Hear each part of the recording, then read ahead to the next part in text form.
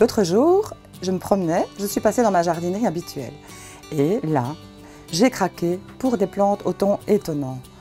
En réalité, ce sont des plantes vivaces, mais bon, je me suis dit, je vais essayer et ça me donnera une jardinière peu ordinaire. Je suis descendue à la cave et j'ai regardé dans tous les vieux paniers. Alors j'ai retrouvé celui-ci. C'est un vieux panier provençal dont je ne me sers plus depuis des années. Je pense déjà que ces couleurs vont bien s'assortir avec mon choix de plantes et en plus j'aime beaucoup l'idée de la récupération. Pour tout ça, vous aurez besoin d'un panier ou d'une caisse ou de ce que vous voulez, des plantes, du terreau.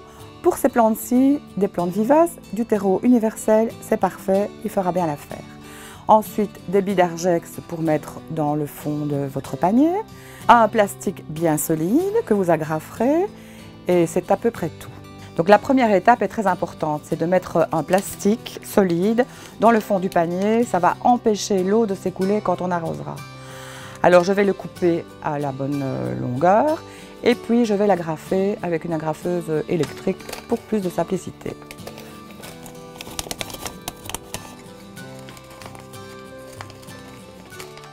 Et maintenant je vais l'agrafer en faisant un petit bord pour plus de solidité.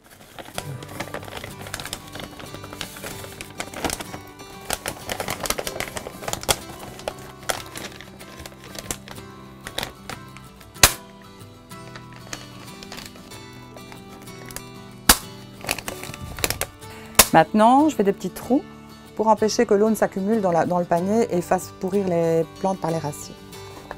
Je pince le plastique à une hauteur raisonnable, hein, pas dans le fond parce que ça va passer partout.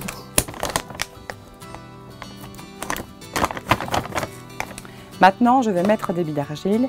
Ça va garder une certaine humidité s'il fait chaud en arrière-saison.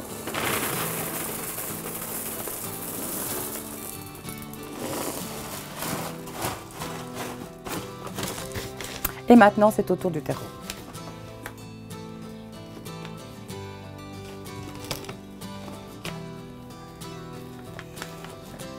Je vais disposer les plantes selon mon goût, en respectant quand même la règle de les grandes derrière et les petites devant.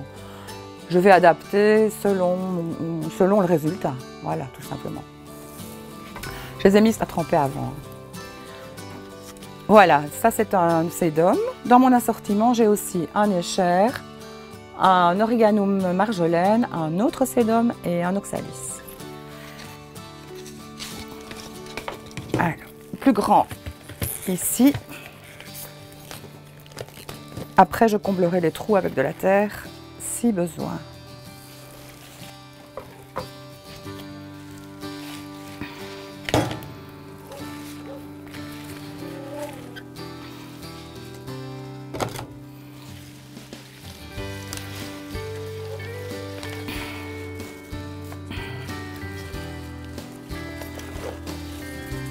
Et enfin, l'Orianum marjolaine. Vous pouvez le constater comme moi, il a souffert d'un excès de pluie ces jours-ci, donc je vais le nettoyer tout simplement. Ça arrive parfois. C'est fini, il reste une petite étape, c'est reboucher les trous avec un peu de terreau.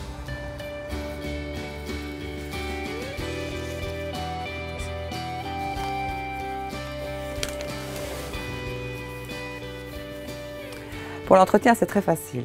Juste quelques petits arrosages parcimonieux, sans excès.